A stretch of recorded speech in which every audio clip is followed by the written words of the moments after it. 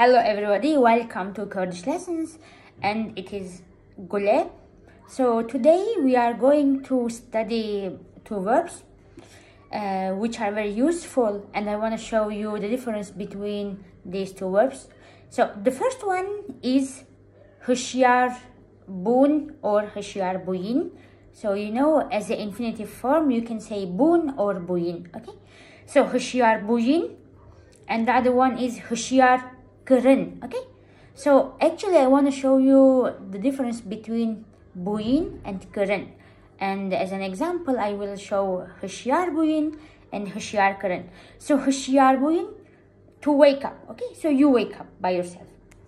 But Hushyar Kırın like you or someone wake you up okay like to wake someone up okay so you can of course uh, use uh, هشيار بوين uh, in present form as as هشيار دبم تو هشيار دبي او هشيار دبي ام هشيار دبن هون هشيار دبن او هشيار دبن okay it's very easy just our بوين دبم دبي دبي دبن دبن and for هشيار كرن uh, present form will be as هشيار دكم like I wake تتتنت up okay you wake someone up as te for example.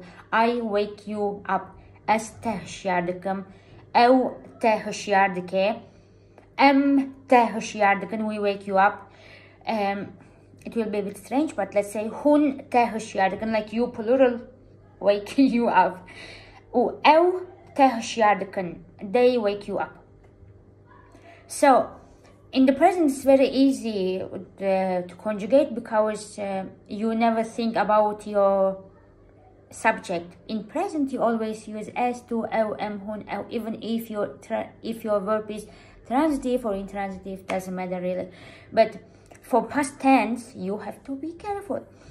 In the past for intransitive verbs we use our usual pronouns مثلا as هشيار boom I woke up to هشيار بوي you woke up yesterday the other before day etc أو هشيار بو he or she woke up أم هشيار بون هن هشيار بون أو هشيار بون okay but for هشيار كرن since كرن is a transitive verb the rule says if you have a uh, if you have a transitive verb, the subject should be in oblique case, and our oblique pronouns is من, تا, وي, و, ما, و, wan. Okay, so you will say من هشيار كر, تا هشيار كر, وي هشيار كر, و هشيار كر, ما هشيار كر, و هشيار كر, وان هشيار كر. For example, من دو خوش كاخوي هشيار كر. I woke my sister up. من دو خوش کاخوه هشیار کر.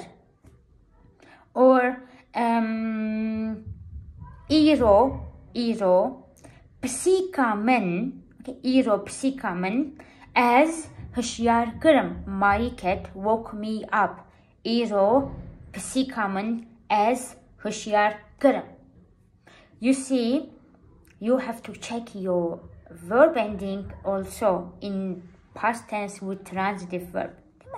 So don't uh, confuse, uh, don't be. Um, oh, I'm very tired. So be careful when you use these verbs, okay?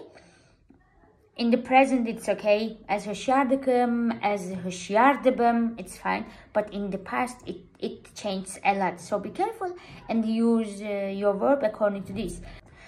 So قالك سباس و روجا بمين خوش بخاطر و هكا برسن وهبن هون هرتم دكارن وكا كومنت بنويسن عن جي ايميلي جي انستغرامي جي تويتري جي هر دري هون دكارن جمن ببرسن باش باش.